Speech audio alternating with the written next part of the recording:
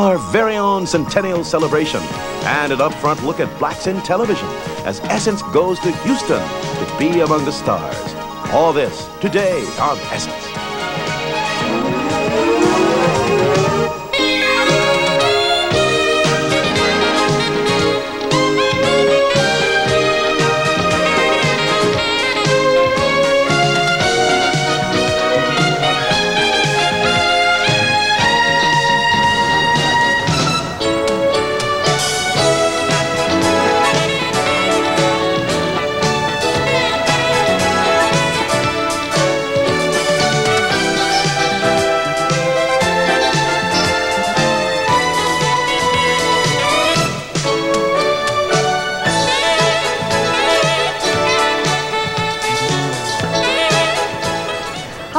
Susan Taylor, and today's show is a milestone for Essence. It's our 100th nationally televised show.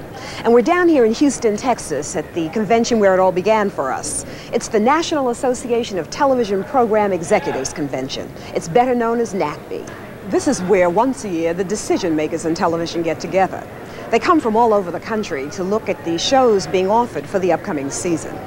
It's here that they'll select the majority of programs that you'll see on your local stations.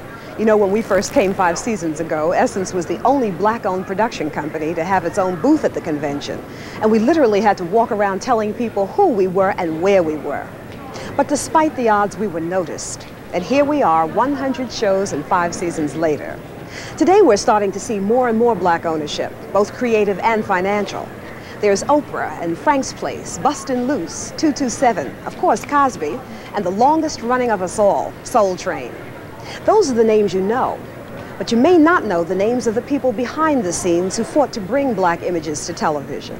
Names like Topper and Alyce Carew. They're highly respected independent producers who began in public television years ago. They now produce movies as well as shows for commercial television. Theirs is a real love story of each other, their culture, and their craft. Hold it! Kids, where did this money come from? Okay, we were on our way from school, and it was raining really hard. So we went into a phone booth to call you. That's right, and there it was on the floor. A wet, disgusting paper bag. Full of money. Didn't you ask anyone if the money belonged to them? Mimi, we were the only people in the phone booth. While in fact Bustin' Loose is my first commercial television series, it is in fact my 12th series. So I've been doing it uh, for 20 years. Because they've been producing television for 20 years, Topper and Alyce Carew are black pioneers. Through their two production companies, Rainbow TV Works and Golden Groove Productions, the Carews have fought to bring quality images to television's programming. The then Boston-based nonprofit production company, Rainbow TV Works, supplied the PBS network with dozens of programs, including two highly acclaimed children's programs, Rebop and the first domestically produced situation comedy for PBS, The Righteous Apples. This Hallmark series featured a multicultural cast and consistently sought to educate viewers on social issues such as drug abuse.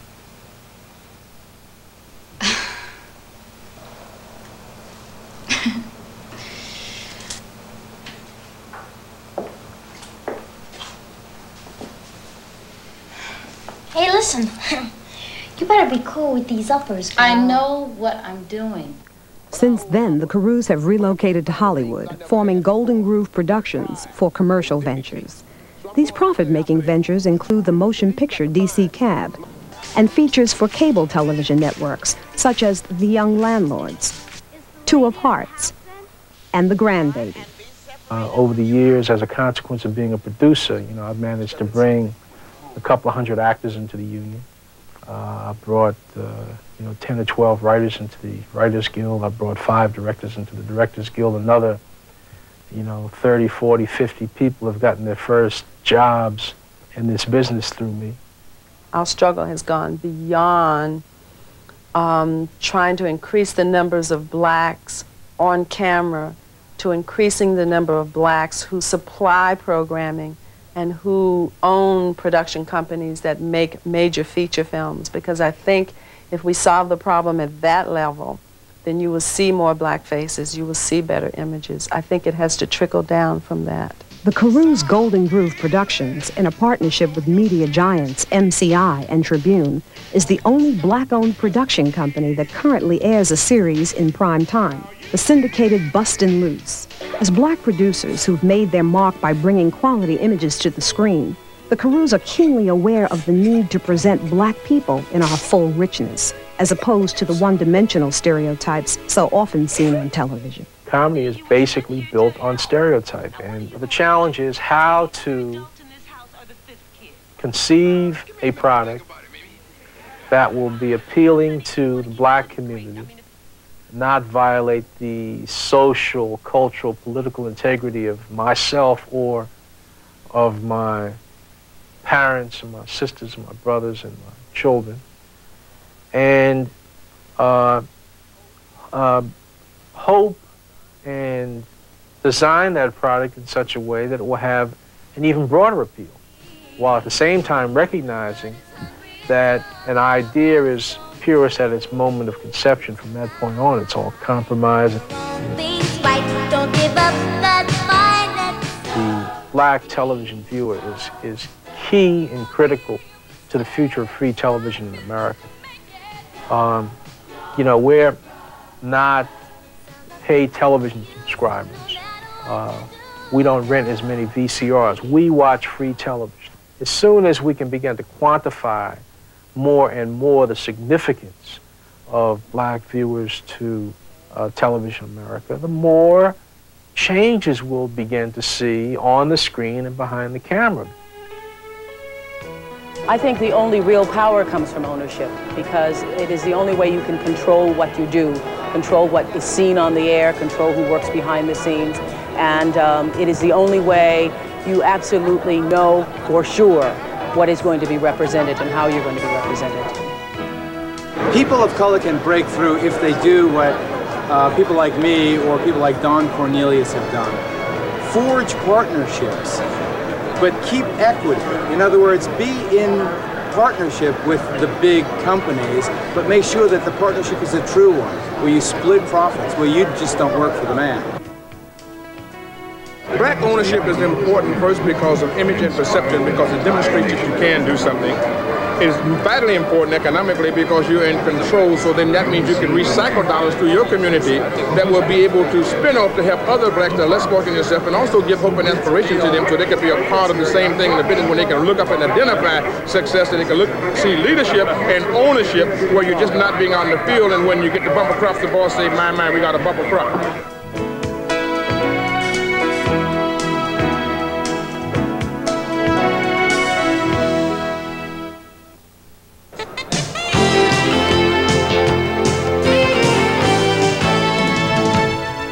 Welcome back to Essence and our 100th show. We thought this convention of television programmers would be an appropriate place for Essence entertainment correspondent Christopher Vaughn of The Hollywood Reporter to take a historical look at black images on television. Because you and I watch television, we have witnessed events we will never attend, visited places we will never set foot. I have a dream formed opinions about people we will never meet. Such is the power of television, the single setting where the good, the bad, the accurate, and the distorted are given equal legitimacy. In the intimacy of your home, television touches you, and you are changed. Because television is so immensely powerful, it's clear that the images presented on television have an immeasurable effect. This is an examination of the images that television projects about us as African Americans. Why those images are selected, how they are selected, and most importantly, by whom. To begin, television is a business, a business of delivering the largest possible number of viewers to advertisers. This affects the way that most images are selected in two ways. First, television programming must not conflict with the advertiser's image and attitude. Second, it must appeal to the majority of potential viewers. So we see that in large part, viewer expectation can determine which images will be selected. For it is in meeting those expectations that television draws viewers.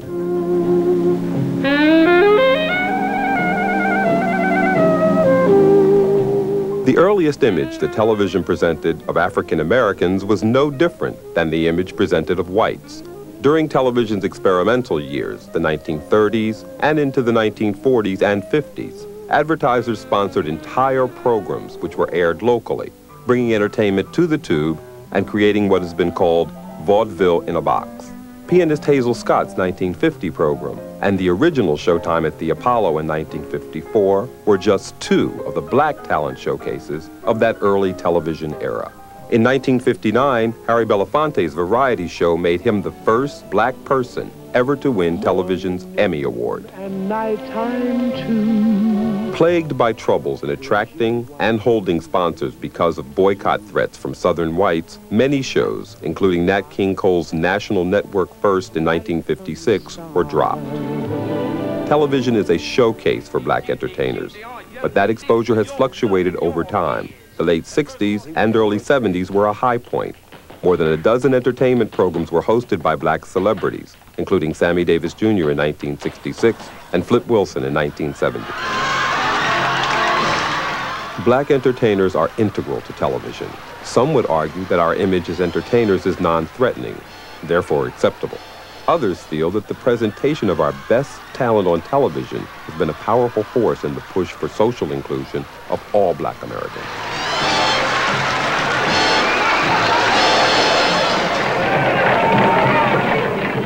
Another early black television image is surely burned into the memory of all Saturday morning TV viewers, the ever-present native. The damage done to generations of viewers by the distortions that were passed off as African cultures cannot be measured. Never seen as masters of their environment or captains of their fate, an entire worldview has been shaped as consumers of this television fare were directed to dismiss the integrity of a people and their culture cultures which stand as the earliest known civilizations on the earth. The Beulah Show. Who spends most of her time in the kitchen, but never seems to know what's cooking.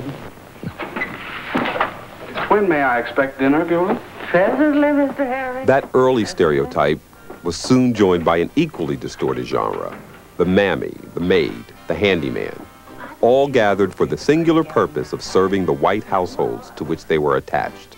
Familiar from motion pictures and years of stereotyped imagery, audiences were delivered such programs as the 1950 show, Beulah. Defenders of this series point out that it offered a look at a black woman who spoke English correctly and performed her duties with dignity. This same defense has been given for the eternally controversial series, Amos and Andy, which premiered on television in 1951. Although the main characters have stood for all time as classic coons, supporting characters presented a flip side to their comedic presence. These straight men were some of the first black judges and businessmen that viewers would encounter. In addition, Amos and Andy provided the very first look at a black household in the history of television. Mama, do you have to get a job?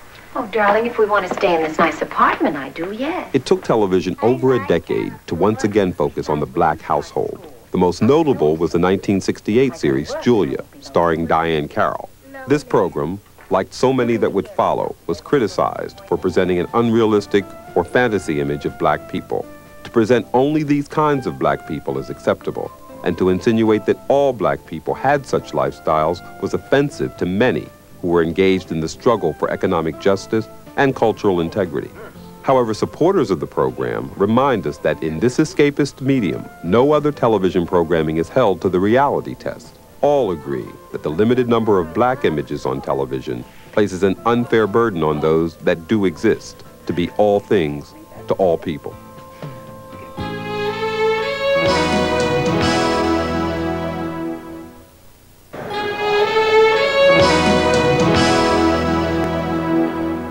Welcome back to Essence. You know, when you think about black people in television, we've been presented as everything from mammies to moguls, from janitors to judges. Here's Christopher Vaughn as we continue to look at black images on television. Reflecting the social awareness of the times, the early 1960s have been called television's age of social relevancy. As network executives acknowledged the purchasing power of black Americans, these decision makers included black issues in this dramatic social debate. In 1963, most major drama series featured at least one episode with a racial theme. These searing dramas gave exposure and, in many cases, Emmy Award nominations to the young black actors and actresses who today are institutions. You are a Negro. A man whose weapons are his life. Confined to racial issues, black actors and with them black images were too often a single episode phenomenon. Recurring television roles remained white. Honor, dignity, our birthright. The late 1960s have been called the golden age of black images on television. The civil rights movement and the emerging black consumer led networks to feature black actors in leading or supporting roles in more than two dozen programs. Most importantly, these characters were largely free of racial stereotyping. I Spy was the first network dramatic series to star a black actor, Bill Cosby. The program was landmark in that it placed Cosby on an equal footing with his white co-star and featured the socially and culturally responsible government agent operating internationally in world affairs. Hey, Pop. In the early 1970s, the quality of black images on television declined, swept along in television's move from relevancy to escapism. Solid black characters all but vanished, to be replaced by situation comedy characters like those in the 1971 series Sanford and Son, that critics called stereotypical black characterizations. They likened Good Times character JJ and his catchphrase, dynamite, to Amos and Andy's Kingfish and his stock phrase, holy mackerel. Hey, bro, say blood. However, defenders remind us that these new comedies presented more than just simple cliche. Rather, they were redeemed by the social issues with which they often grappled, issues such as unemployment and racism. While critics saw the black television family as a happy-go-lucky ship of fools, supporters countered that these programs were no different than their white counterparts, adhering to the exaggerated requirements of situation comedy. Look what I found. The late 1970s brought less defensible images.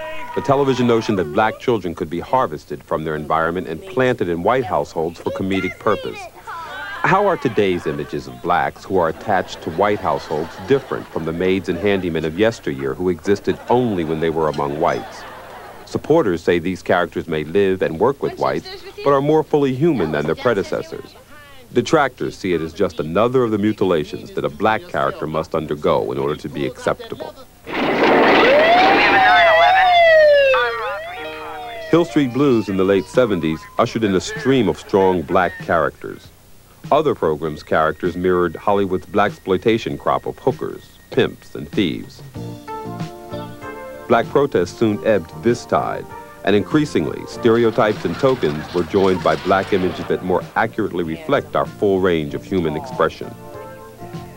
Black television professionals have joined in what had been a virtually white creative effort and their mark can be seen on programs like Amen and the blockbuster Cosby Show. Programs that treat African American culture with the dignity it so richly deserves. Many trace the beginning to the award-winning miniseries Roots. This program's record-breaking viewing audience still stands as one of the largest in the history of television. The Roots phenomenon proved that black images are commercially successful and opened the eyes of network executives, pushing many of them to break the color line in other types of programs. Bryant Gumbel now co-hosts The Today Show, the highest-rated weekday morning news and information program. The syndicated Oprah Winfrey Show is one of the most successful programs on television today. And when the young comedian Arsenio Hall hosted the Fox Network's Late Show, he dramatically increased the show's ratings. Indeed, African Americans have had a phenomenal impact on the success of the programs in which they appear. While the number of black characters on television represents only a fraction of our actual percentage in the population, we now see a full range of black characterizations on television. As more whites purchase VCRs and wired their homes for cable, the black viewer is becoming a larger and larger percentage of the audience viewing free television. In addition, due to economic constraints, black viewers watch more hours of TV than their white counterparts. We have seen how programmers respond to the wishes of advertisers and viewers. We have seen a growth in the impact of black television professionals, both on and off camera. With this in mind, Who can imagine what the black image on television will become as these factors force programmers to increasingly focus their energies on satisfying the tastes and expectations of African Americans, consumers whose purchasing power equals that of the 11th wealthiest nation on earth.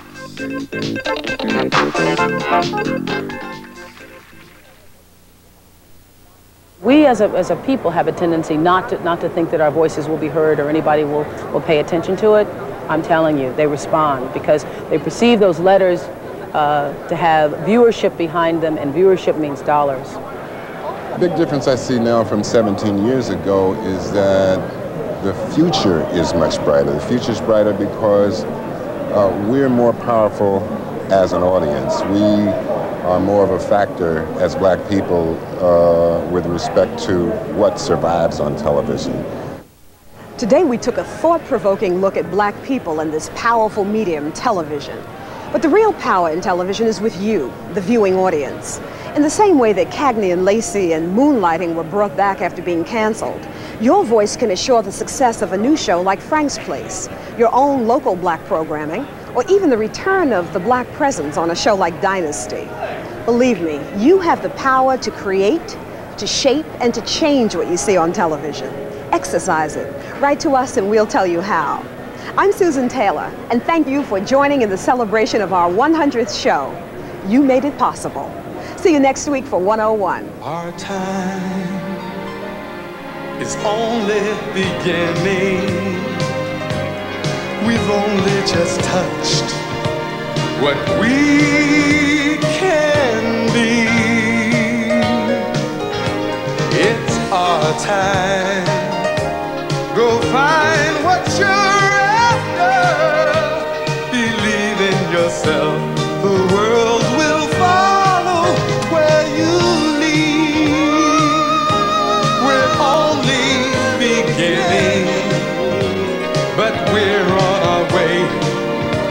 Come take